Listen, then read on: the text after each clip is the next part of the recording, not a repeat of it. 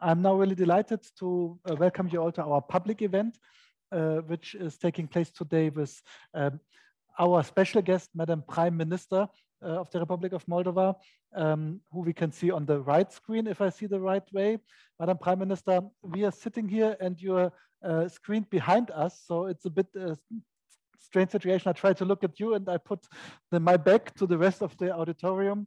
We will see how this works out. And I think on my left-hand side, we have the European Commission, um, uh, the representative of, European uh, of the European Union, sorry, um, in, um, in Chisinau, uh, Mr. Mazeiks. Welcome you as well. It's great to have you here, like uh, the two guts for Mr. Lüttenberg and me uh, behind and in front of us. And yeah, I'm also delighted to have Matthias Lüttenberg here, an old colleague from, yeah, uh, let's say the Central Europe connection in Berlin, uh, who was uh, for a long time um, one driving part of uh, Chancellor Merkel's policy in the region. And now he's back in his uh, old house, the foreign ministry, and the director for uh, Central and Eastern Europe. And um, yeah, so um, let's um, have a start. And perhaps, Madam Prime Minister, as for us, it's the greatest honor, of course, having you today here um, screened to us to Berlin. Um, I will just hand over to you for some introductory remarks. Hello, good evening. Can you hear me well? Yes.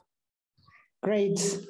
Uh, it is a great pleasure to be invited to speak at the, the international workshop, which is dedicated uh, to my country, the Republic of Moldova. Uh, and I really hope to have the opportunity uh, to see many of you both in Chisinau and in Berlin. I want to first thank uh, the South, Southeast Europe Association for organizing this workshop and uh, giving a platform for our government to present its agenda and the challenges we face uh, since we came to power in August.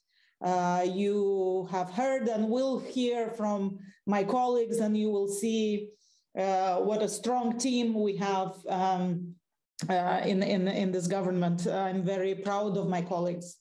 Uh, as you know, in July, the Party of Action and Solidarity uh, won a historical landslide victory in the parliamentary elections on a very strong mandate for anti-corruption, good governance, and economic development. And for the first time in 12 years, the parliament, the presidency, and the government are all aligned and steering the country in the same direction uh, one that reflects the will of an overwhelming majority of the Moldovan people. And it is for the first time in history uh, that this one direction is actually a direction of European integration and uh, value-based economic development. Our reform agenda is bold, ambitious, and urgent. Uh, we have full support of our people and we are very grateful to have the support of international partners. Under the association agreement and the deep and comprehensive free trade agreement with the European Union, we already have a clear agenda for the next four years, and we are fully committed to adopt and implement all the necessary provisions to modernize our country based on best European examples. Uh, so I will speak a little bit about uh, our agenda or our government program in several key areas um, and give you just some examples of the things that we have managed to do so far. And then I will conclude sort of a, with a more strategic analysis and then um, be open to any questions that uh, may arise from the participants. But if we talk about rule of law and justice reform, um, of course, uh, you know, it is uh, the probably the most important priority for this government's reform agenda uh, to carry out uh, justice sector reform, uh, which for us involves uh, an external vetting of judges and prosecutors. Um, the systems have not been able to reform from within, despite several years of um, uh, reforms based on um, best European examples. And uh, we think that now we can only progress with this external vetting.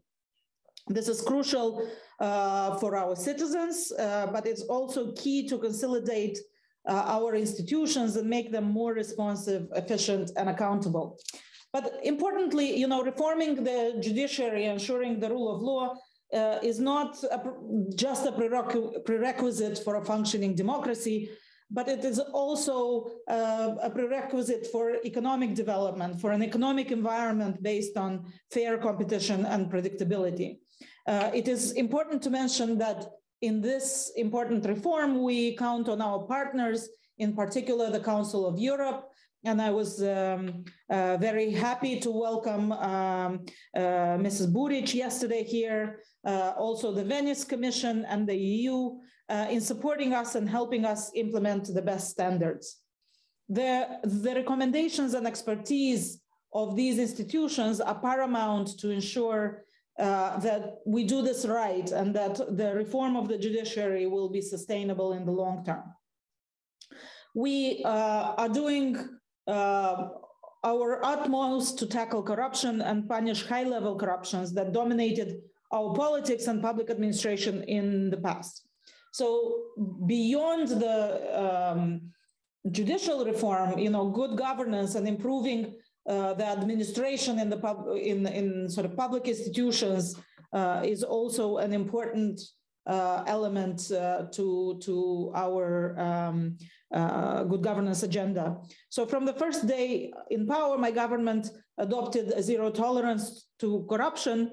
Um, and while it is up to the judiciary to hold those responsible for corruption uh, to account, it is our responsibility and priority uh, to create a more open, transparent, and fairer uh, government administration. Um, we uh, have already done several controls where we stopped uh, acquisitions that were done with violations or were marred by corruption. Uh, we have also stopped several um, intermediary contracts in uh, state-owned enterprises, uh, and we have cleaned up uh, the, uh, the leadership in main public administration bodies. I will talk about some of the people we were able to attract later on, but uh, th this is sort of our uh, consistent challenge to uh, bring people with the right values and uh, the right professional um, background. Uh, we want to dismantle the collusion of private and political interests that have kept the country captive to the interest of the few at the expense of the many. Uh, so you know we have these uh, many of these arrangements uh, like public-private partnerships, and I call them public expenditure, private gain. That's, that's the approach that used to be, be in the past. And what we want to do is we want to replace informal governance with good governance and re replace informal institutions with strong and resilient, accountable institutions. Um, we uh, place professional ethics and integrity at the heart of our approach towards public administration um, and only in this manner we can build trust in Moldova as a destination for business and investments. And I am sure that these efforts uh, will pay off. If we talk about improving the economy, you know, it's not just about fighting the past, it's building a better future. Uh, so uh, for us, um, uh, a, a, an important objective is to improve the economic situation of the country and create the favorable circumstances for the country to be uh, more resilient and to improve the competitiveness of our products on markets, to facilitate the open, opening of new businesses and gear the national economy towards sectors with high growth potential. Um, my vision is that the state should be a partner of the private sector and engage with representatives of honest and legitimate businesses. Um, as I said, uh, you know, unfortunately, these vested interests exist in the in the private sector as well, um, uh, and, and there is a distortion in some areas of the competitive environment, and we are working intensely uh, to ensure a clear, transparent, and business-friendly legal and regulatory framework. Uh, some of this is in the form of my colleagues in Parliament, um, uh, you know, holding to account uh, regulatory institutions, and some of this is uh, up to the government in terms of improving the regulatory environment. Um, and it is uh, it is paramount for us to combat this market abuse practices um, and uh, uh, you know eliminate barriers uh, to entry and exit from the market um, and eliminate abuses of dominant position or violation of principles of fair competition. Um, it is important to improve the business environment and to create incentives uh, uh, for uh, small and medium companies, which in our view should become the backbone of um, the Moldovan economy. So in our government program, we have ambitious reforms on so dereg deregulation, access to financial instruments, access to, to advisory services, and investment in the growth of enterprises, which ultimately is key to creating jobs.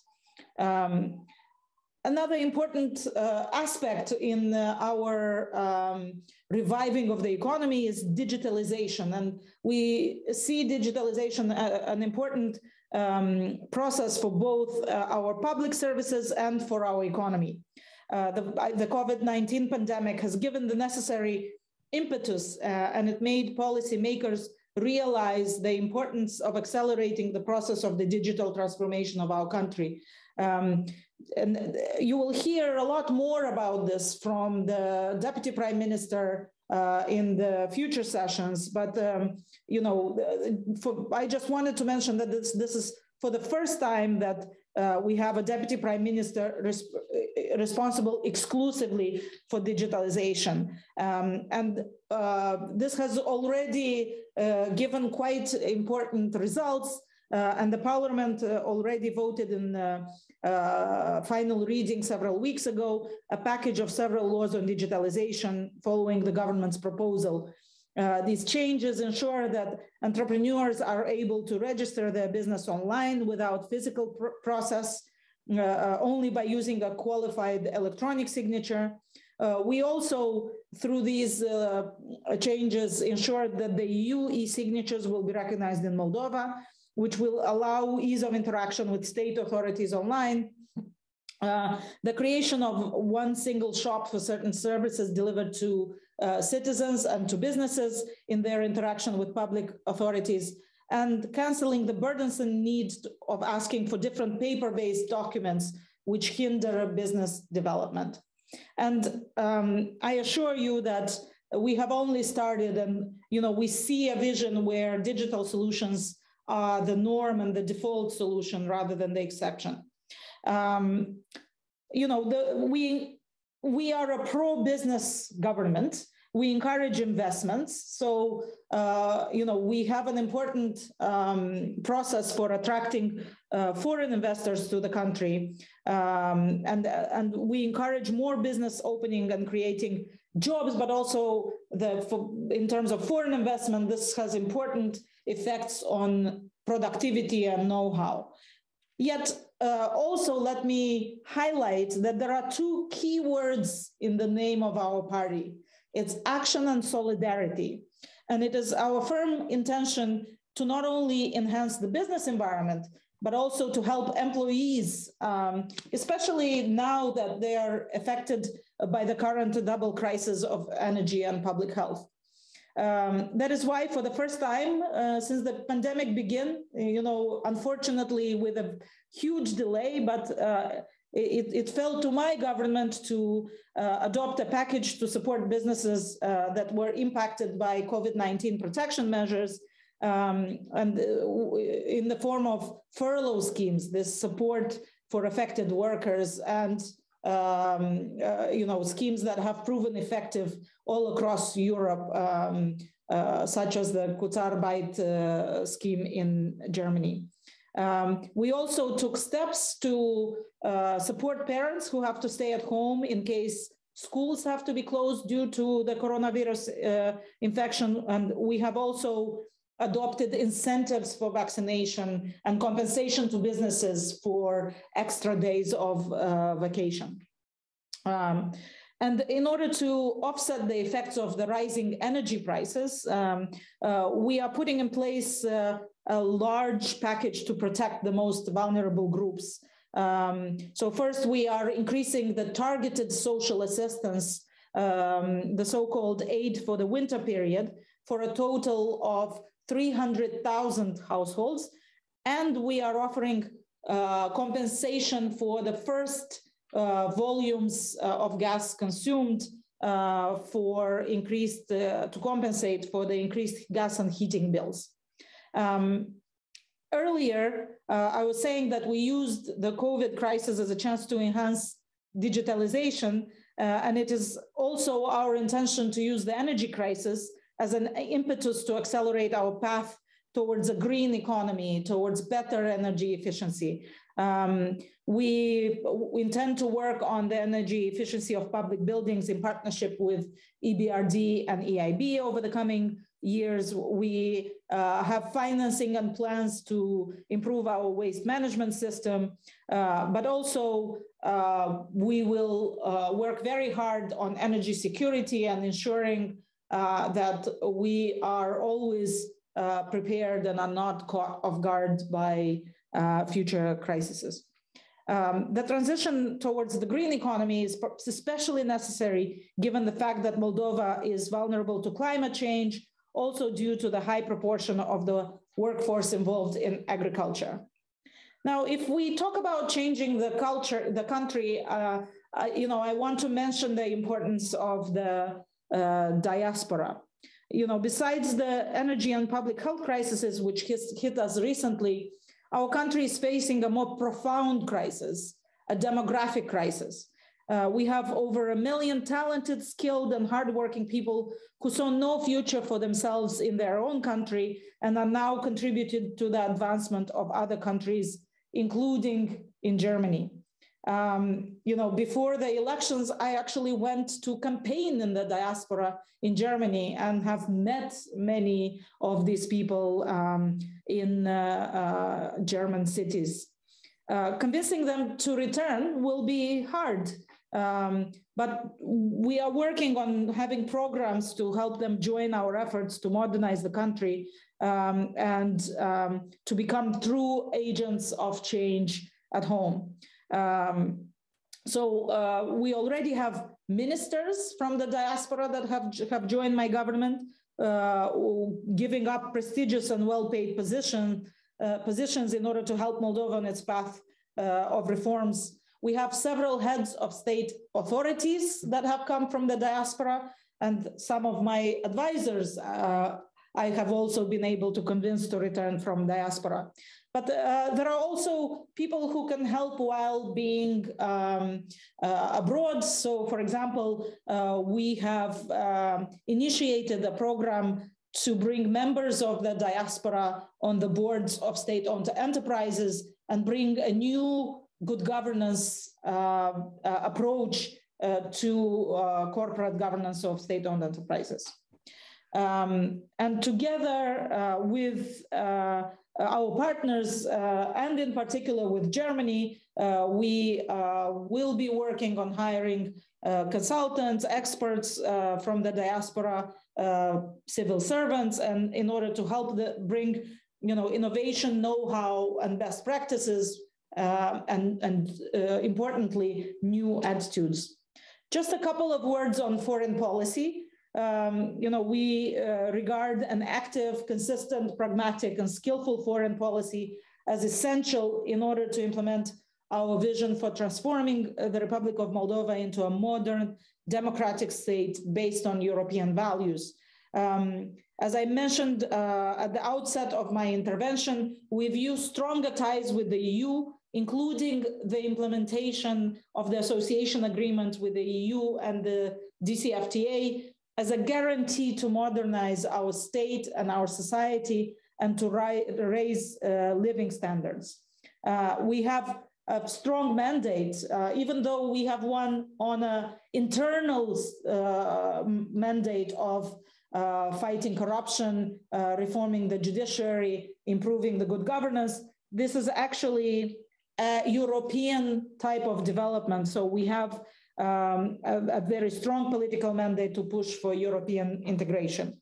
Um, I would also like to um, highlight the importance of the support that has been provided uh, by our uh, Western partners in the fight against uh, coronavirus and in dealing with the energy crisis. This has actually brought um, uh, quite a, a, lot of goodwill. So I will just give you one example. A lot of uh, Moldovan citizens were welcome to go to Romania and uh, get vaccinated even before vaccines were available in Moldova. And uh, this has been very much appreciated uh, by the public. And the constant engagement of our partners in helping us access vaccines, in helping us improve our equipment, in helping us provide services to our citizens, um, uh, again, has has uh, uh, been very much appreciated by the by the people. Um, more more recently, you know, um, we have uh, faced quite a difficult energy crisis, and uh, the importance of the support uh, provided by the EU um, in this uh, in this sense, both in terms of expertise, um, uh, you know, public and political support, uh, has been um, extraordinary. Another priority area of our foreign policy is actually related to our direct neighbors, Romania and Ukraine, with whom we have an um, very good dialogue and uh, who have also been extremely uh, engaged and supportive uh, of our government. Uh, even today, um, uh, our foreign minister, Deputy Prime Minister Popescu, and uh, the Minister of Education were in Bucharest together with President Sandu uh, to sign some important commitments and roadmaps um, in terms of our cooperation uh, and, and we've with Romania, and we very much look forward to uh, the resolution of the political crisis in Romania to uh, push that agenda with even more acceleration forward. Uh, we also count on strong ties with the United States of America.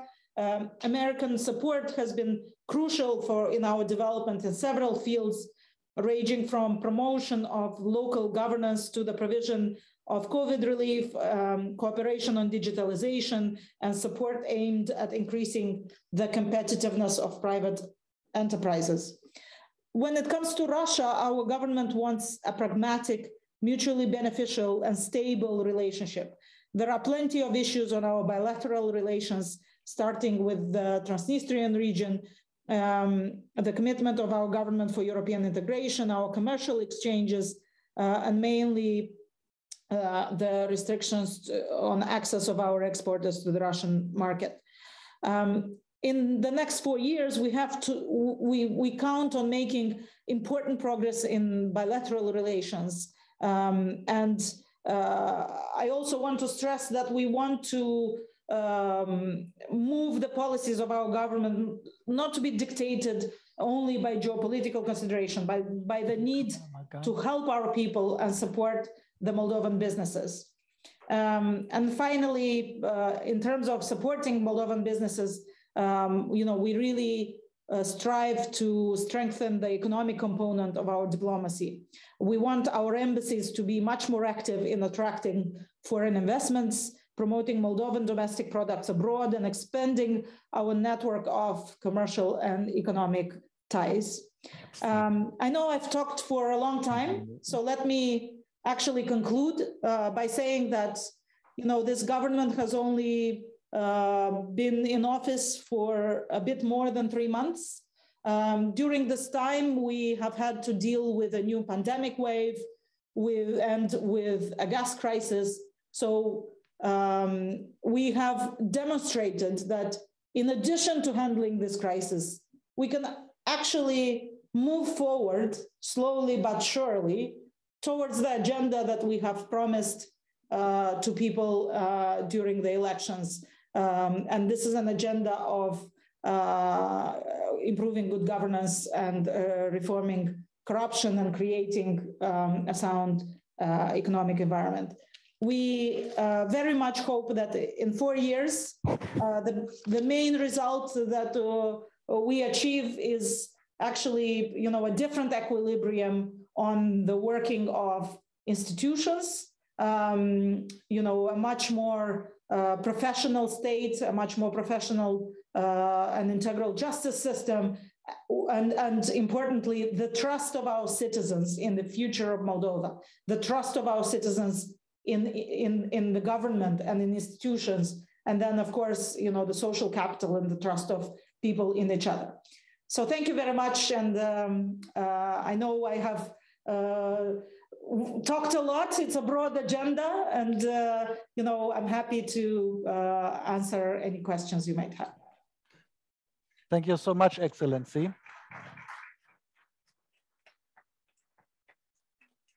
Um, in the opening remarks, I said that to a certain extent, um, Moldova's electorate gave a second chance, uh, comeback possibility also for the European Union, not only in Moldova, but also in the Eastern Partnership. And I think that the success of the government program with its values, especially, is really important, not only for Moldova, not only uh, for your neighbors, but also for European Union strategic aims in the region.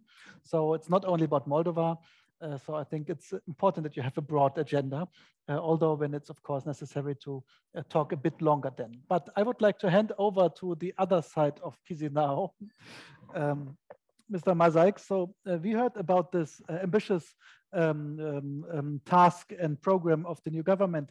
Could you perhaps answer on two questions? On the one hand, the prime minister said that already a lack of personnel is relevant. So they're trying to get people back from the diaspora. They're trying to also change personnel. They need good educated people who are willing to be not corrupted and to invest their personal engagement into change in the country. What is your view on, on the uh, state of art of public institutions in Moldova? How can we as the European Union, but also perhaps as Germany, support the path of this country uh, due to this point? And the second point is, if uh, you're talking to your colleagues in Chisinau, what is usually the most um, wanted, the most um, um, uh, needed uh, demand from uh, the European Union? What should we do first uh, in favor of supporting the change in the country? Thank you for those questions. And uh, well, at the outset, uh, I'm very glad to listen to the Madam Prime Minister because it's rather seldom that we could, with a, with a country, basically share our speaking points on uh, much of the statements because uh, our views overlap on uh, so many questions. So if I look at the very big picture, I would say that Moldova, Republic of Moldova has achieved democratic change. Now it needs to achieve democratic transformation. And uh, from that uh, flows all the other strands of uh, the support that Moldova would need and uh, the EU and Germany can uh, provide. Indeed, the issue of the personnel is uh, rather painful one, I think, at this stage. Uh, and I see Madam Prime Minister nodding in agreement because uh, there are both objective and subjective uh, problems for that, ranging from low salaries to corrupt practices in the past. And this indeed may be one of the biggest challenges for the government's plans uh, to implement those plans, uh, because it can't end just with the diaspora ministers or heads of agencies, but it needs to uh, be implemented at much lower working levels. So uh, there are things that we can already do as a European Union. For instance, we have a number of high-level advisors who are pro providing strategic advice uh, to the government, to the ministers on different uh, subjects that uh, the Moldovan government has asked us to provide. And we also uh, have offered uh, short-term advice. We also have a number of shorter-term advisors on uh, particular areas, and we can also have ad hoc needs helped when the need be. For instance, uh, the energy crisis was one very good example of that, where the European, yeah, you, the experts provided by the European Union were able to support the Moldovan government and uh, uh, help it get to a reasonably acceptable result imperfect result at that, uh, but uh, a solution which has allowed the Republic of Moldova to have uh, gas at uh, rather low price. Uh, so what we can do on top of that, this is something that we are in discussions with the government.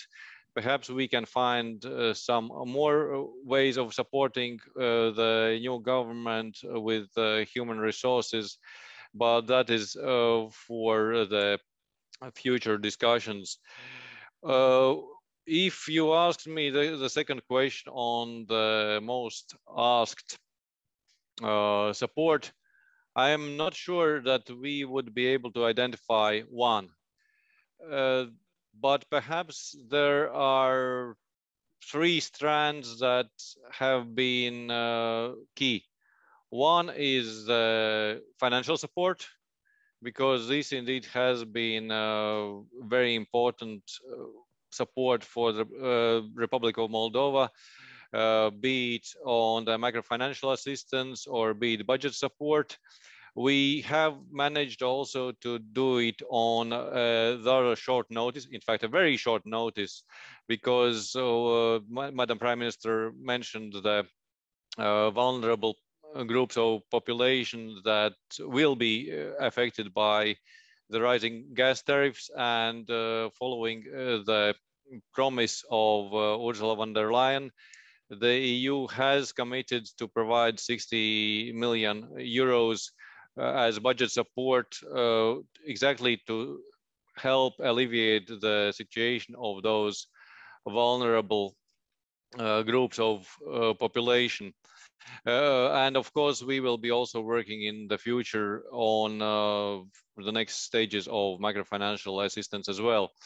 Uh, the second block, uh, which I would like to mention, is uh, the expertise. And that expertise is partly related to uh, the first one because quite often uh, the implementation of projects also means having the European expertise that is transmitted to the Republic of uh, Moldova. And perhaps one area where I would highlight this for the future is that an area where we have been working already quite a lot in the past, uh, where it was even clearer now in this autumn how important it is, and that's energy security that uh, Madam Prime Minister also mentioned. So this is also one of the areas that we will definitely be continuing our cooperation in the future. Uh, so on very practical level, uh, but also on expertise level. And a uh, third element, uh, which perhaps should have been mentioned as a first one, but that's the political support. Uh, because uh, you can have money, you can have expertise, but without this component of political support, this may prove insufficient. So I hope that the support that the European Union has uh, provided, be it the top officials of the EU or the member state support of the Republic of Moldova, has been very visible lately. The very significant increase in the number of visits that have been going both to Brussels, to the European capitals, and from the European capitals. I think this is also the way how we can uh, send a message to the Moldovan population that uh, the country is on the right path and that uh, the European Union is there to support the Republic of Moldova on this path. Mr. Lüttenberg, we know each other so well, so um, I know that you're a great diplomat and even mean answers you can smoothly answer. So I would like to pose a bit of mean answer to you. We talked about resources and the Prime Minister already said about the situation with the gas prices in the country. Is it in a certain extent a problem for a reform country, for a reform government uh, to on the one hand stick to European Union values, but on the other hand being to a certain extent depending on Gazprom deals. And what can we from Germany do against it? I mean, we have now this new pipeline built and uh, the Russians would do what we want because we want this pipeline so much, I thought. Uh, well, thank you, thank you very much, uh, Madam Prime Minister, Deputy Prime Minister. Thank, thank you very much for, for having me. Indeed, a nasty question. It has nothing to do with Nord Stream 2, I'm sure. So I can focus only on uh, on, on Moldova. When I had the chance to visit Chisinau almost exactly a month ago, uh, I arrived in the middle of the gas crisis, and everybody was was really nervous. And it's thanks to um, a number of factors that we somehow managed to mitigate with the EU um, first and foremost, and, and the 60 million um, euros which were made available. On the other side, of course, the problem goes a lot deeper than just a, a spike in, in gas prices and the dependence that that Moldova experiences um, certainly is a weakness and and the, the, the, having to rely on spot market prices is certainly not the best recipe. Therefore, I was very happy to see that a long-term contract was uh, finally agreed on, and um, I, I, hope that the conditions of, of this contract will allow Moldova to, uh, on the one side, to provide for a substantial amount of, of gas for its uh, population, but at the same time use this um, experience and use the, the, the time ahead, as the prime minister has already rightly said, to reform not only the country but also the energy sector in a way that green energy will play a larger role in the future. I think this is certainly a wake-up moment also for, for the people in, in Moldova that for a long time it has been taken for granted that the gas will flow from Moscow and that the prices were more or less um, okay with 250 uh, US dollars um, this was certainly um, nothing one, one would argue about. But the problem here again goes a lot deeper because the, the interrelation between Transnistria and, and, and, and Moldova in terms of gas flows and energy flows um, certainly constitutes a problem there. Uh, indeed, we do have this um, the new interconnector from Romania, but it will not be sufficient to, to um, provide for energy for all of, of Moldova. So we need additional um, sources. And I think here renewable energy might play a major role in the future. And it's it's our um, at least our, our wish that that uh, Moldova would, uh, with the help of international financial institutions, with the help of the German Development Corporation, will will walk this this extra mile and, and invest in renewables and to to decrease the dependence of, on fossil energy, just as we're doing in Germany. Mm. So if I may stick to one point, um, we have this current development regarding the prices to be paid for the last and the next months in advance uh, within 48 hours, which is, um, I mean, if you make contracts with Gazprom, sometimes um, the contracts are different readings uh, underlying. Do you see any chance that Germany would um, use its leverage towards Gazprom um, to influence them in favor of uh, being a bit more nice or more exact to the reading of the contract? Or are we so much um, busy with our own Nord Stream point, which has nothing to do with Moldova, of course? Well, well, first of all, I have to admit, I don't know the contract and its precise wording, so I don't know what has been agreed when the 790 US dollars were agreed and what were exactly the conditions of repayment. I do understand, though, that everything seems to, to uh, go into the right direction, that the money will be made available and the bill will be paid. I sincerely hope that Gazprom and Moldova gas will not make it a huge issue if it's 48 hours later. I don't see that, that Gazprom will actually uh, stop delivering gas. At least I hope so. Um, if Germany will use its leverage, it depends, of course, on uh, if Moldova asks us to do so and then, then talk to, to anybody. But um, as you rightly said, um, these contracts are contracts between two sides, and then we are not part of this contract. So I, I guess this is in the first place something between Moldova and Gazprom. Moldova Gas, as, as you know, is largely um, um, pertaining to, to Gazprom as well. Mm. Madam Prime Minister, I would hand over this point to you just for a moment. I don't want to stick too deep on the gas issue, but I think it's a quite a hot topic and um, we don't want to meddle too much around. Um, I think for your government, it was a success to sign a deal, although we all know that signing deals with Gazprom in such a dependent situation usually is not an obvious success because you had not a perfect bargain situation. Uh, what is the situation now for your government uh, regarding this new task given from Moscow? Uh, what is your claim? What is your strategy? Uh, how to overcome this? And what is, from your view, could be helpful as a reaction from Berlin, from Brussels? Um, yeah, just to give you the open floor on the topic.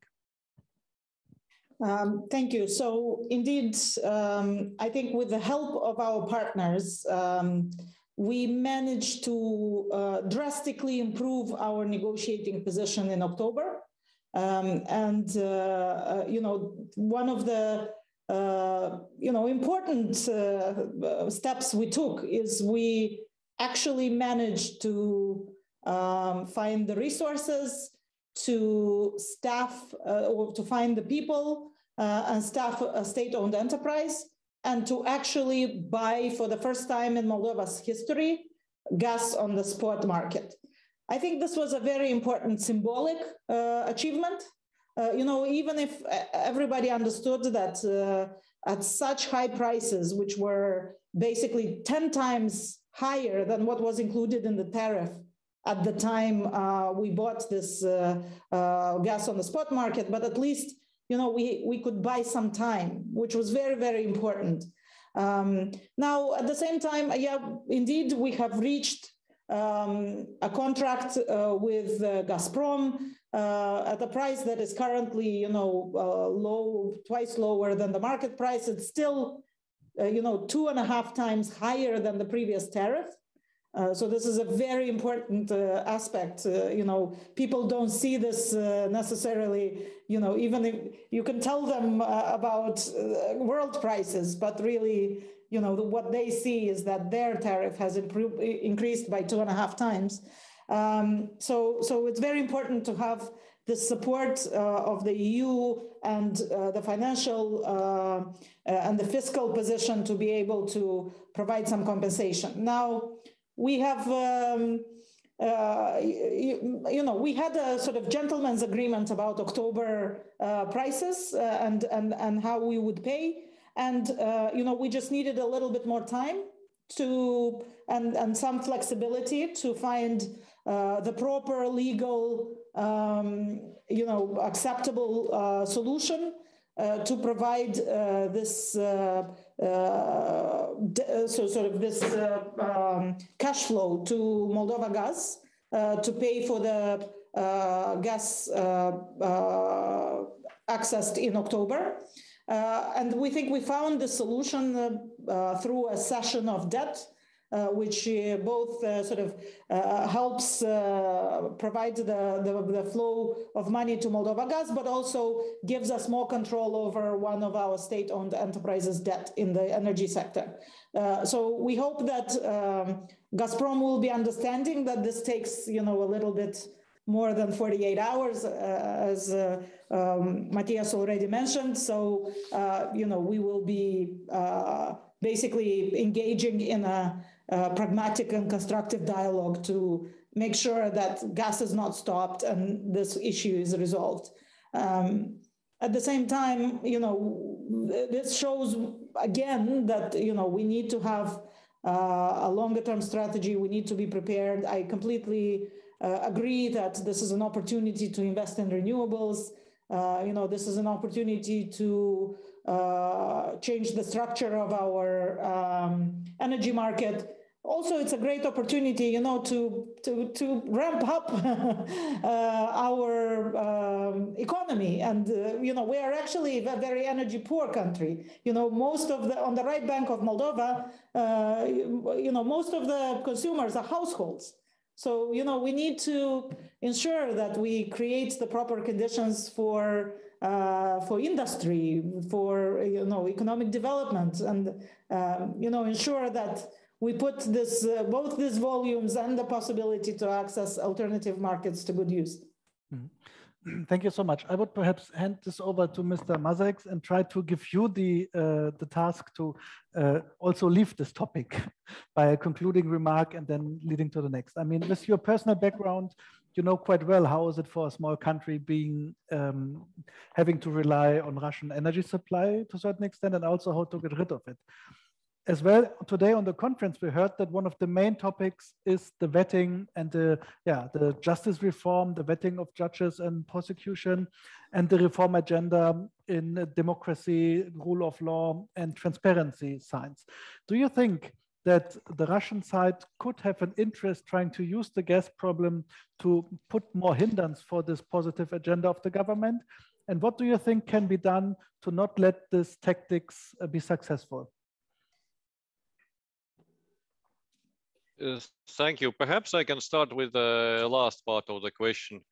Uh, if one looks at policy, I think this is not about uh, something, but uh, in a better situation, creating circumstances when uh, these negative developments can't take place. In other words, that there is less potential for hindrance that you referred to, be it any external actor that uh, there may be. Uh, yes, indeed. If I look at our national experience, and I come from Latvia, uh, where I have been a career diplomat, then uh, indeed uh, the path to lessening dependence on a single source is rather obviously creating other sources of access. And already the interconnection with Romania in uh, for Republic of Moldova is very good news in itself because this does create uh, new avenues uh, for work. But uh, this gets me in, to the point that uh, it is very important, and we have been uh, mentioning that that uh, for the long-term interests of the Republic of Moldova, it is important to implement the third energy package because not because it would be directed against someone, but because this just creates better opportunities for the country. To give an example from our region, the Lithuanian companies created uh, an LNG terminal in Lithuania. The next month, uh, the prices that uh, Gazprom was offering both for Lithuania and for Latvia, which are interconnected markets, fell by 30%. So it doesn't mean that you don't want to rely on this or that source but the moment that you have alternative sources, uh, you have more leverage also with other providers. Uh, so this is one direction that I would uh, see as very important. And second, uh, a reminder that uh, the best energy is the energy that you don't spend. So whatever measures that can be taken to create the energy, uh, to lessen the energy consumption, for instance, by insulating the buildings, which is one of the priority areas both for governments, uh, uh, for the government and for the European Union. This means that uh, there will be less energy consumption irrespective of the source. Mm.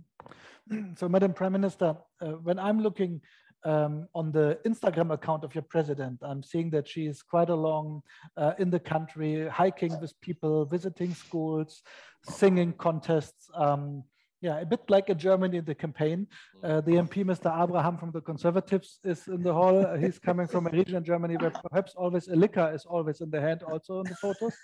Um, so this reminded me a bit to yeah, like how politics is working here. On the other hand, when we were talking today here about the main task, vetting justice reform, I think in Germany nobody would elect Mr. Abraham because he says I'm organizing a justice reform in Germany. yeah. So what is your thing? How to promote? How to explain this transformation of of the country uh, to the people on the ground um, by hiking or uh, singing? Uh, you know, um, hiking and singing was an important way to make a connection uh, with people and to, uh, uh, you know, explain to them why it is that um, a reformed judiciary is so important for Moldova. You know, this is, unfortunately, I mean, corruption has gotten to a point where uh, people have started to understand, uh, it has started to affect them individually. You know, they understand that in the absence of a um, working and effective judiciary, uh, you know, we will be paying for the banking fraud for decades to come. Um, and, you know, they know who the banking who the banking fraud perpetrators were seven years ago. Uh, yet, um, uh, you know, they know that these people have not been punished, and um, uh, of course, you know, this is this is uh, making uh, uh, people quite um, angry and anxious. So, so in a sense, I you know, I would congratulate Germany on the fact that it has reached a point where you know nobody would win an election on justice reform. Um, you know, and uh, you know, I, I, I do want to get to the point where you know Moldova doesn't have to uh, win elections on an anti-corruption and uh, you know justice reform agenda because uh, you know, we would reach a better equilibrium and then only concentrate on um, uh, you know e economic policies and, and what economic policies are more effective than others.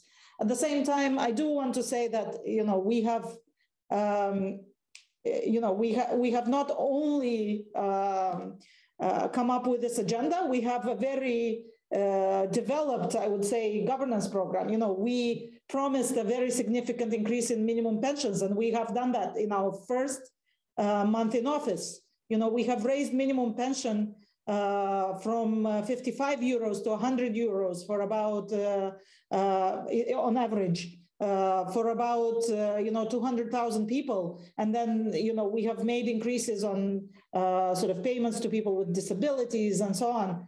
Um, you know, we have come up with a very ambitious agenda on investing in infrastructure. You know, we have promised specific projects um, uh, you know, in terms of uh, rebuilding roads, uh, providing water and sewage, um, implementing small um, uh, projects in localities. So, so, so the, the anti-corruption and justice agenda really made us more credible, also in implementing our economic and social agenda. Mr. Lüttenberg, the last question to you before I open up uh, to the auditorium. Um, what is your assumption if you look at the Eastern Partnership, perhaps also the region Southeast Europe, because we are still with the Southeast Europe Association? Um, what is the um, importance of the question of Moldova as showing a role model uh, that transformation can work out now? I mean, we have the candidate status of countries on the Western Balkans, we have Turkey, we have the DCFTA countries in the Eastern Partnership. Where would you locate Moldova in this? Is it more like Ukraine or more like Georgia or more like Armenia or more like Serbia? Um, what is what is the role of Moldova in this in, the, in this concept in our neighborhood? Perhaps a country which is uh, without rights, sometimes forgotten, uh, the most easiest way, but perhaps also the one we, we hope for performing good in the next years the most, yeah? Well, thank you. I, I, don't think I will do you the favor of ranking my top 10 or the least 10 uh, in Southeastern Europe, but but certainly, let me start with an anecdote. When I, when I started to work at the Federal Chancellery in 2014, um, a week after, basically, we received Iurie Leancă as the Prime Minister of Moldova. I was very excited. The first sort of official visit I was preparing for the Chancellor, and and and everybody was really um, excited about Moldova being in Berlin, and and we had a, a wonderful meeting, and and and everybody left uh, and and thought, wow, this is really the one country that that will walk ahead of the others. Uh, they had visa liberalization already, and everything just looked perfect. There was a good uh, personal chemistry between the, the acting people. Now, many things happened since 2014, so I would never uh, even dare to say that these things are irreversible. But what I, what I hear today from Madam Prime Minister, for example, is not only energetic, but it really reflects an attitude uh, which is now, for the first time ever, and it was rightly pointed out, not only the president, but also the prime minister and the parliament. So we really have the, the perfect conditions for, for implementing policies which are considered pro-European. And, and it's really the first time that everything looks as if we could do the reforms, they could do the reforms that they, they really want and that the people want. Um, in any case, the Eastern Partnership has opened its doors to, to all six, and I say deliberately all six partner states. Um, but, but there's this new trio, the trio of Moldova, Georgia, and Ukraine, which is more self-conscious, asking for more in return for more. Like the, the concept of more for more, as we call it, implies not only that the integration into the EU and its structures will accelerate, but also that these three countries are ready to invest more, more in reforms, more in, in, in justice, in particular in rule of law, in the fight against corruption, and many other things, which are the basis of our cooperation, which is a joint set of values. And this is what we all believe in. That doesn't mean that the other three countries are not part of the Eastern Partnership anymore, but I'm in principle open to, to accelerating the cooperation with these three countries. And there, Moldova certainly is one of the three, which has a huge potential of moving faster forward in, into the direction of the EU without mentioning uh, any, any particular goal of, of this movement. Um, I find it difficult to compare the Eastern Partnership countries with the, the Western Balkans because they do have a clear European membership perspective from Serbia to, to all the others. Um, well, if one looks at, at, different models, and I assume you have discussed Albania as an example of vetting processes um, in, in comparison to Moldova and, and the lessons we learn in Tirana, are, easily to be applied in, in, in, other contexts. And I know for sure that Madam Prime Minister has an advisor who worked before the EU delegation in Tirana. He brings all this knowledge to Chisinau. He can tell exactly what went wrong, what didn't go so well. And, and I think um, these are these are elements um, which take Moldova more forward uh, because they they they benefit from the experiences that were made elsewhere. So so in my but view, I have to confess that in the panel before, it was not the result that it is easy to access the, what was good and bad in the vetting in Albania. I think it's also a task. Yeah. yeah. No, but but in any case, I think Moldova has the the, the perfect um, preconditions to to do an what they want to do. But uh, of course, the circumstances, and I haven't mentioned COVID 19, for example, do make it a lot more difficult than, than anybody might, might have hoped it, it would be. And the gas crisis also shows us the regional dimension um, and maybe even the geopolitical dimension that Moldova is, is facing. So actually, I wanted to open up now for the auditorium. The first question will be by me because you said one thing. You you remembered uh, to 2014 and when Iurie Leancă came to Berlin. Since then, a lot of things happened and a lot of things went wrong, Madam uh, Prime Minister, in your country. But I would focus. Uh, you say what was the biggest mistake, perhaps European Union or we, whoever that is exactly, did with Moldova? Were we too did we trust Plahotniuc too much? Were we too stupid regarding the laundromat and how the money flows is working? Or what would you say? What was our biggest mistake? Were we too hesitant regarding a new perspective or opening the labor markets? What would you say? What was the biggest, what will we do next time better? Which mistake we will not repeat this time? Well, it's a, it's, it's a good question. And I think um, that there were mistakes being made also on, on our side, maybe yes um, the role of Mr. Plahotniuc has been seen differently in, in, in some capitals, but um, I think one of the major mistakes was that we didn't go and, and help Moldova to find out what happened to this 1 billion uh, euros after the banking scandal, because this, I think this eroded the trust in, in the system even further to the extent that now you can win elections on justice reforms, which is not the same in Brandenburg, by the way, looking at Knut. so if, if you had such a crisis, and no, no, but but I think this was one of the the elements that we didn't I mean, it's not up to us to, to, to vote in other countries, but, but of course, we, we had to work with the governments that were there, and, we always enjoyed working with everybody. Maybe we could have been more strict. Yes, maybe we could have said more clearly what we expect and how conditionality really works in the Eastern Partnership. But um, i can assure you that uh, we were strict, but, but it's not always the remedy for, for everything that, that we might not like in, in, in certain countries. But uh, turning this page, I mean, now we, we do have the association agreement, we do have the DCFTA. Let's make full use of its potential and, and, and try to move forward to the extent possible. Mm. Madam Prime Minister, I have the feeling that you want to comment on this. Um, yes, I was going to say that, uh, you know, I actually was working with President Sandu in the Ministry of Education at that time, you know, and uh, we have uh, uh, we were excited about education reforms and you know there have been some good things done. And indeed i think that uh, what what what was wrong is you know I, I, I will give an anecdote myself. You know after uh, i got disappointed in hearing the news about the banking fraud um, I actually resigned and left the country. Um, and yes, I participated in the Party of Action and Solidarity, but from the diaspora, from abroad. Um, and and uh, many, many young people who put their hopes at that time uh, were disappointed. And I just think it took way too long you know it, it just um, you know it, it, i understand a year or two uh, you know to for something like this to linger uh, but it took too long. And and actually what we need now and i go um, and speak to all officials and i say look um, you know we need sanctions against these people. We all know who these people are. We don't we, we can't let them enjoy a european way of life uh, you know, and have nice homes in southern France or in London um, and, uh, you know, uh, uh, take advantage of the money that they have stolen from the Moldovan people. So, and, you know, we, we have to have this political will to actually, um, you know, uh, sort of not let these people now all unite against us and, uh, you know, basically pay trolls, pay disinformation campaigns, control media, and use the money that they have stolen to have a nice life and to work against um, sort of well-intended um, Moldovans. Thank you. So this is the right moment to now open up for questions and comments from the plenary. Keno Fersek, I see.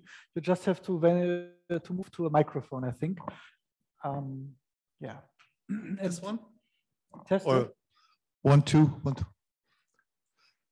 Să rămână, doamna prim-ministru, o să vorbesc în limba engleză. Uh, so, um, Ms. Prime Minister, I would like to ask you. Please introduce yourself. Yeah, okay. Uh, Keno Verseck, uh, I'm a journalist from Germany and uh, writing for Deutsche Welle. Uh, I have a question on the uh, gas conflict with Russia. So it it's already it has been uh, going on for some weeks.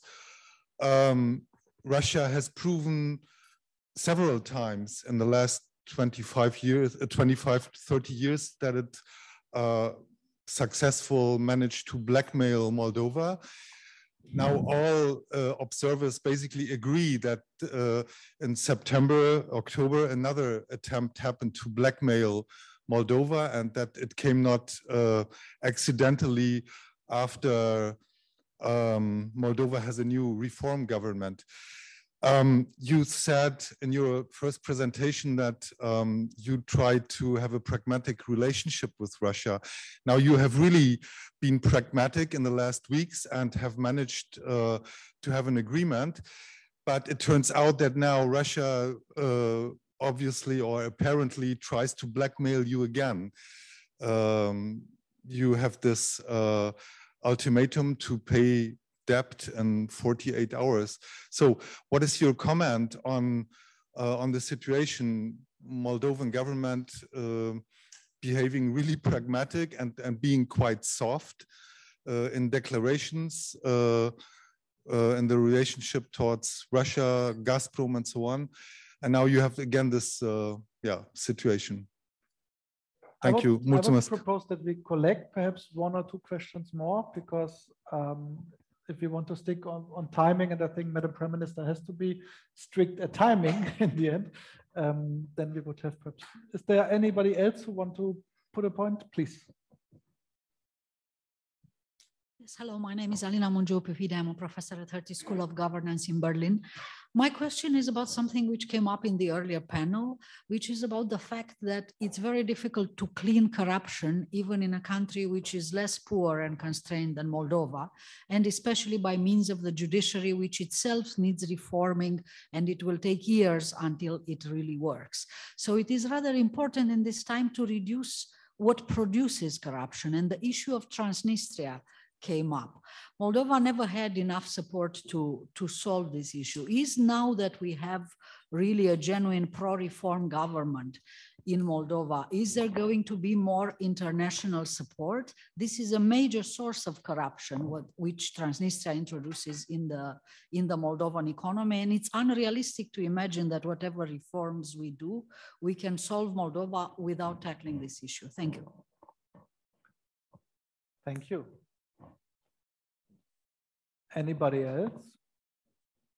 Okay, so I would propose that we start with the second question. And uh, as I you heard it in a way, it's a question towards everybody. So I would start with um, international supporters as calling for the European Union, of course. Okay, thank you very much on, on the corruption uh, aspect and uh, Transnistria. Uh, first, on the bigger picture on fighting corruption, uh, it is very important to do it right. There is just one chance to do this. And uh, we have been very much assured uh, by what uh, both the Prime Minister said today and what uh, the Minister of Justice has been saying in the past that the modern government intends to do it right. So do it in a due process, set up the parameters for the vetting or and pre-vetting uh, to involve the international partners, Council of Europe, Venice Commission, the European Union. So uh, get to uh, parameters of this vetting that would be completely in line with Moldova's international obligations and that would produce a process that is credible and uh, produces good results. On reducing corruption and uh, in the context on Transnistria, I would argue that many things can be done already now. You don't need a settlement to fight smuggling cigarettes. And uh, what we have seen in the news that indeed the there is a, quite a number of uh, interceptions of uh, cigarettes uh, by the Moldovan authorities. Neither there is the aspect of a conflict settlement for having a joint border control with Ukraine. So to step up uh, the cooperation with Ukraine, of course, this is a matter for the interstate relations, but it is doable without the bigger uh, picture. But of course, uh, we are very much interested as supporters of Republic of Moldova that there is solution uh, found to this situation that respects the integrity and territorial sovereignty of Republic of Moldova and provides special status uh, for the region of Transnistria. Uh, but this is uh, for the longer term and in the context of fighting corruption, I, I would argue that it is very much possible to do it already now. Thank you. Um, Mr. Lüttenberg, what do you think about that? I mean, also from your experience with uh, other frozen conflicts or not so frozen conflicts in the region, um, do you think that for a reform government, it is the right way to um, try to solve this? Or is it more a bit like Wasche in Nasche, uh, yours and ours. Uh, so that's perhaps the reason why Moldova is not strict towards Russia in the moment. Well, well, first of all, of course, it's up to, to the government to set its own priorities. And I understand from the campaign and, and everything that um, they, they, were looking very much at the country itself, at uh, domestic reforms, at the economic situation, and, and trying to, to, to push this agenda does not exclude looking at the, the, the conflict and around Transnistria. But of course, it's not, in my view, the, the top priority of this government, which is even understandable looking at, at what was the situation that they found in, in Chisinau these days. However, we think that um, Transnistria should be part of the agenda, and I think it is actually part of the agenda. Now, the colleagues in the OSCE were offering a number of, of uh, meetings and gatherings. Hasn't um, happened yet, but but um, I'm optimistic that uh, early next year we will continue working on a on a long-term solution for this conflict. It's uh, one of the protracted conflicts which are really causing ben, economic downsides and, and, and, and, problems for, for both sides here. And, and I think it would be in the interest of everybody to find an agreed solution. This will not be easy, but um, certainly it's not up to, to Moldova to, to uh, voice some demands towards Moscow and, and tell them what to do. I think it's very good that Moldova has chosen this pragmatic approach and that um, they, they try to, to, to find agreements on the most pressing issues and, and the others will follow with the support of, of the OSCE, the EU, of Germany, and everybody uh, else who considers himself an, interested um, party in, into these five plus two talks. This is something where we can be helpful, also in contact with the regional actors, um, looking at Ukraine in particular, but but also others. Mm. Madam Prime Minister, would you say that uh, the unsolved Transnistria point is a problem for fight against corruption as well? Uh, and perhaps also, do you think that it's only the Russians always the problem, or could other partners in the region also be more helpful, perhaps uh, for the path of your government, but also specifically regarding uh, the process regarding uh, Transnistria? Um, thank you. First of all, uh, let me thank the distinguished participants who asked the question. I actually have met Ms. Mungiu Pippidi in a previous life. Uh, I hope she remembers, and I have read her uh, work on corruption. So, uh, you know, uh, unfortunately, Transnistria is uh, not the only source of corruption, right? So it's an important source of corruption, but it's not the only source. And actually, you know, prioritizing and tackling corruption within Moldova will actually make us much stronger uh, in terms of our negotiating position. So, you know, uh, uh strengthening institutions in Moldova, you know, removing this corrupt and vested interests that have existed in sort of the, the exchanges between the right bank and the left bank will actually ultimately make us stronger to help um, you know, resolve the, the, the Transnistrian conflict. Uh, so, so we see this as a sort of iterative um, process, uh, you know, uh, concentrate on uh, what we can do here, what we can do with international partners. Uh, very importantly, you know, we can uh, better control our borders. So to the to Manuel's question, you know, we do uh, continue working to uh, talking to Ukraine about joint border control along the uh, sort of Transnistrian uh, portion of the uh, Moldovan-Ukrainian border. Um, you know, we can improve regulations and, and sort of better control our imports and what goes to Transnistria. I mean, there are a number of things that we could do. and you know, we should concentrate on we can what, what we can do and become stronger to do more. Um, and, and here, you know, I will actually circle back to the very first thing that um, uh, uh, Ambassador Mazeiks said about, you know, putting the right people in place, strengthening institutions in Moldova, in the central government, and then, um, you know, becoming more and more sophisticated in our uh, policy and decision making.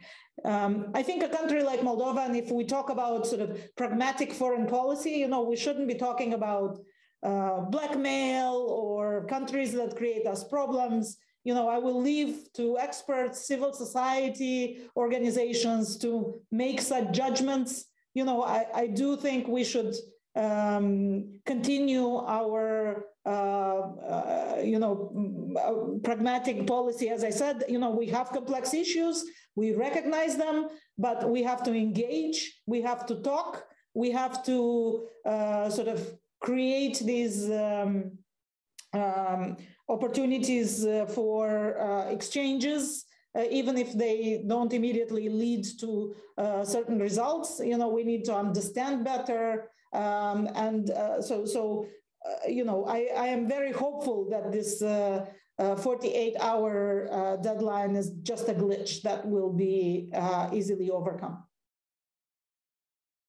Was the answer on Keno Verseck's question as well? So there's still 10 minutes to go. Yeah, Stefan Meister, please. It's working, yeah. Okay, Stefan Meister, German Council on Foreign Relations.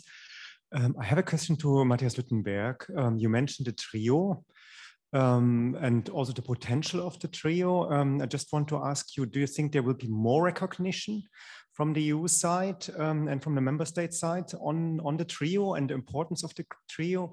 And where do you see the main the main uh, opportunities uh, and maybe also the deficits at the moment in, in the cooperation but where's where's the real potential of this um, of this trio?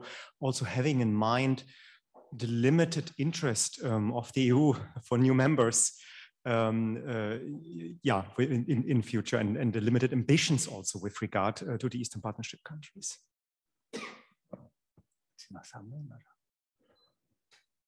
Ja, ja, ja, gerne. Danke, vielen Dank. It's good to have a colleague who can, the moderator is not checking. Perhaps you need more time for thinking about the answer. Uh, yeah, I, I just, I'd be very So uh, thank you very much. My name is Elia Bescotti. I'm a researcher at the Leibniz Institute for East and Southeast European Studies in Regensburg. I will go back to the Transnistrian question because it concerns my research particularly, and because uh, in the next weeks we will have uh, on the left bank quotation marks the next, uh, so to say, presidential elections, and I was wondering which, uh, uh, what is the outlook, especially asking Madam Prime Minister. Um, in how it can basically affect after the, the new uh, forces came in force, uh, came in power in Moldova, what, uh, how will this change the relations between the two banks, uh, especially considering that uh, uh, this electoral round on the left bank seems particularly favoring further um, establishment of the um, current uh, uh, forces uh, in power there. Thank you. Thank you so much. So my proposal is now that we link these two questions with uh, the concluding question which I would put. And uh, then everybody has the chance to like sum it up and then uh, outside there will be food. Madam Prime Minister, unfortunately, we cannot send the food via Zoom to you, but of course we invite you the next time to have some meal with us. Um, so my question uh, is to all three as a concluding question on the end. In the moment they're taking the negotiations between the three uh, traffic light coalition, possible coalition partners in Berlin, and uh, nobody of you is uh, really uh, inside this. I have been a bit inside, and uh, everybody there is only waiting for my SMS tonight what Moldova and what Mr. Lüttenberg and what Mr. Mazeiks wants from the uh, new German government to be done in favor of Moldova. And I will immediately submit it. So it's a chance for you three to say what should be uh, the new input of the new German government in favor of uh, Moldova. I will not tell to anybody from where the source is. I will put it all in my credits, of course. Um, yeah, this is uh, my proposal for the concluding question. And now uh, Madam Minister, you want to start perhaps? Sure. Um, so in terms of the um, uh, outlook for the Transnistrian region following the elections, you know, I'm a development specialist. Uh, I, I, call myself a neo-institutionalist. Uh, so I, uh, uh, you know, I believe the underlying fundamentals have not changed for the new, for the elections to bring something new. At the same time, um, you know, uh, as with uh, the country that exercises effective control over uh, the Transnistrian region, uh, you know, the policies can be unpredictable. So, um, you know, it's a it's a it's a difficult question to answer. So, on one hand, you know, uh, uh, I don't see all things being equal, any change. On the other hand, you know, this all things being equal can always change. Uh, so um, this is why it's actually very difficult to uh, come up with a policy or uh, negotiate. But I'm sure you know that if you research the area. And then um, uh, in terms of um, Manuel's question, uh, I'm not sure this was directed to me or not, but uh, um, uh, you know, um, we we will be uh, welcoming um, uh, representatives of the government at the end of uh, November, um, and uh, you know we'll be expressing sort of our um, priorities, and we will be talking about funding. Uh, but of course, you know, beyond sort of development assistance and funding and you know the areas that we want investment in let's say infrastructure or um, uh, local development and uh, local projects and uh, you know helping us with the uh, human resource problem and helping us with the diaspora. Beyond this you know i always try to think well what we can do as a society. It's not just about the government. If we want a truly sustainable ch change it's not just about what the government does. You know, it's very important um, to uh, continue uh, attracting investors in. You know, we have uh, important German investors, uh, especially in the free economic zone. Uh, you know, we have uh, German investments in Romania that may want to cross the river um, and and sort of create new jobs, bring a new sort of know-how and productivity, as I said, um, and then. Um, you know, also this political support is very important, and and and the support uh, sort of more broadly in terms of uh, you know people to people contacts support to civil society um, and uh, just um, uh, sort of broader engagements beyond the development assistance to the government Thank you so much. And at this point already, thank you so much for sharing your time with us and uh, yeah, being tonight with us. It was a great pleasure to have you here on the screen. And we hope that when the pandemic is over, um, we will also meet you in a person in Chisinau, but also in Berlin. Um, yeah. Mr. Lüttenberg, perhaps I will give the last word, as always, to the last instance, the European Union. Yes. with Stefan Meister's question on the Eastern Partnership, the trio, its potential, its possible downsides, I, I tend to see the, the benefits in the first place uh, because, first of all, I think it's important that three out of the six Eastern partners agree that they wanted to achieve more. And, and this creates a certain sense of competitiveness in a, in a good sense. I think they, they would uh, hopefully not be too demanding and the expectations not being too high, because as Stefan Meister rightly um, pointed out, the, the EU is not necessarily open for more members, but I think the EU is open for improving their relationship with the Eastern partners. And the example of Belarus shows everybody very clearly that it's not a foregone conclusion that these countries will uh, get ever closer to the EU, but there might also be the other way around. And therefore, we should not miss the opportunity to at least cooperate to the extent possible with those who want to do this. This does not mean necessarily that the end is membership.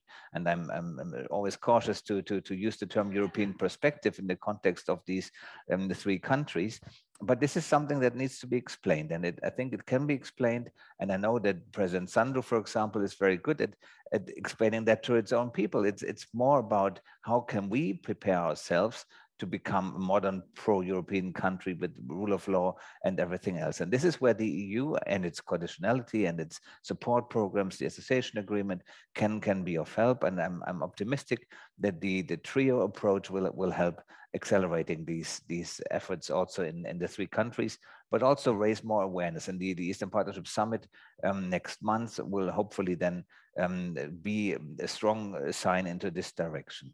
Um, this leads me to, to your question. And, and of course, um, we already do have a full-fledged Moldova policy. And so my wish to the new government would be that they will, um, first of all, understand that Moldova is a European country which is on a good path and which needs a critical friend. But um, I'm, I'm honestly quite optimistic knowing that uh, the, the government negotiations that we will have uh, later this week on, on the development cooperation will lead to a considerable sum of, of, of, of support um, that we will grant to, to the country. So we are already now implementing um, um, the policy of support. And um, I think it's more a matter of, of the mindset. Do we really care about the countries east of, of uh, the European Union's borders, or do we just um, tend to, to, step away because others already claim that they're interesting for them? I hope this will not be the case. Do you think that a little bit a sniff more optimism regarding the ideology of future possible membership, openness to the wish of those countries could be a nice signal if this happened? It, it, could be a nice signal, but it has to be serious. And, and if, if we cannot, as the EU, give this signal today, then we should not do it. Otherwise, we'll only create expectations, which would then be disappointed. And uh, again, looking at the Western Balkans, we, we know that even the promise of 2003 of Thessaloniki has not led to, to the membership of the six Western Balkan countries. And quite frankly, we are still far away from that. So why should we then dangle with a carrot that we might not even be able to deliver on, even if we wanted to as Germany, because we still need 26 others to, to agree as well. I know that an EU ambassador will never comment on questions where the council is not unharmonious. uh, but uh, anyway, there are questions also for you to sum up, Mr.